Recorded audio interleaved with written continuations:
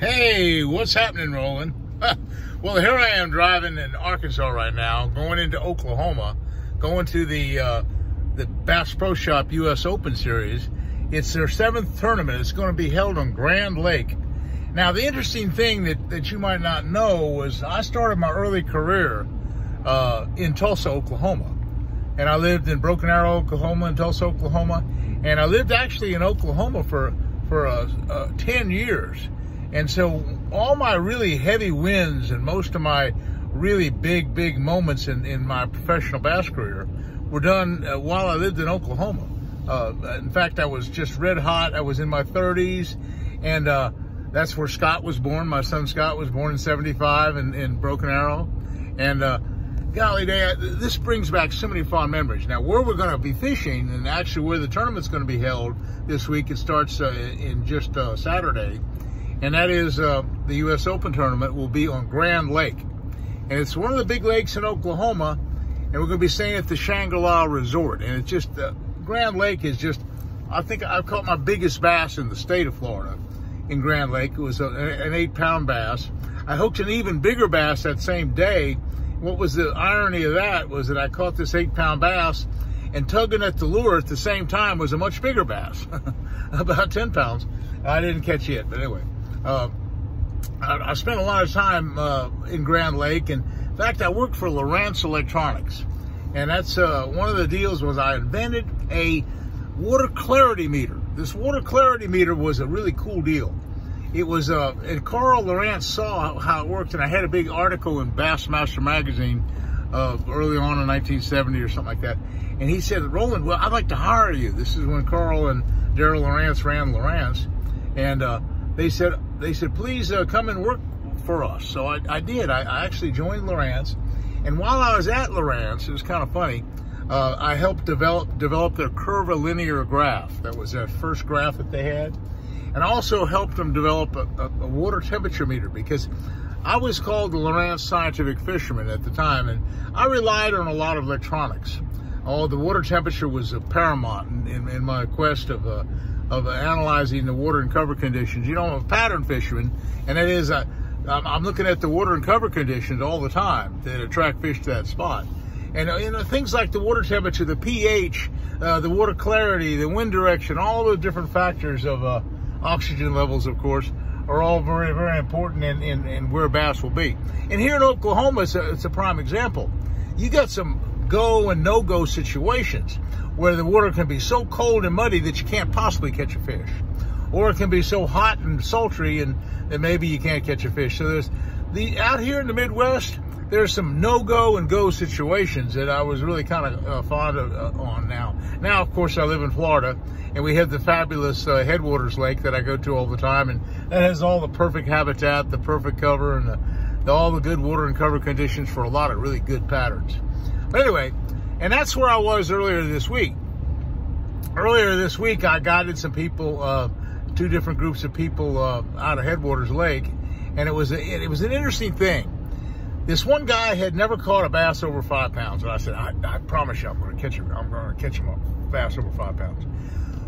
Well, I started off with the frog in the very first cast I made with the frog the other morning. I was at Headwaters in the southern end.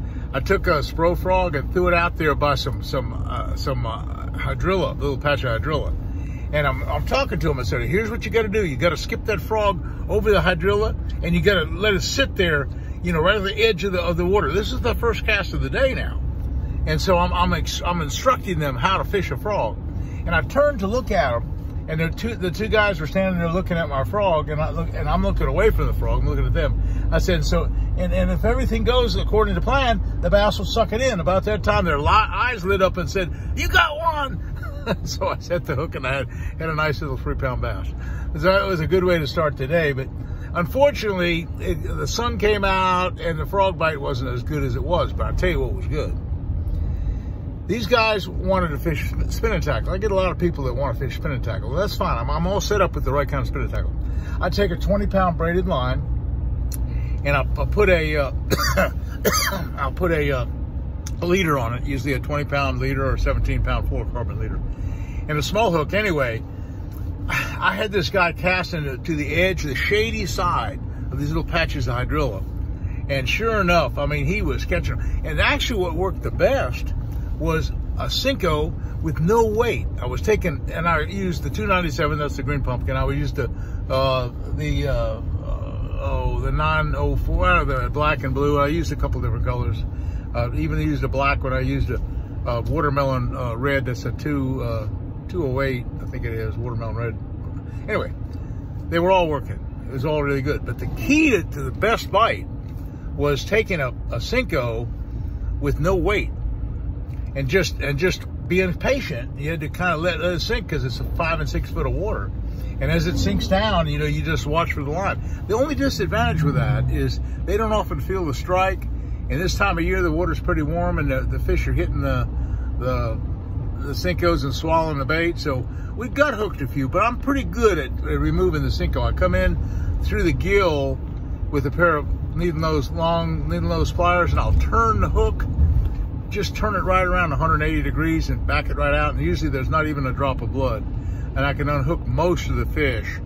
Uh, so he was catching fish. This guy this guy caught the fool out he he uh, he was from Utah. I, I guess he caught at least 20 bass on his own but no real big five pounder bass. So finally I said okay boys here's what here's the deal. I'm going to show you how to catch a big big bass. We've caught 30 bass now at this point. All we have to do now is figure out how to catch a big one. Well, I took out my big flipping sticks and you've seen what I got. I got these super heavy duty seven and a half foot flipping sticks with the big long handles and I use 65 pound braid. And I'm trying to find the heaviest matted cover I can find in the form of, of heavy lily pads, in the form of high hyacinths, in the form of hydrilla mats, in the form of just any kind of trashy thing I can find.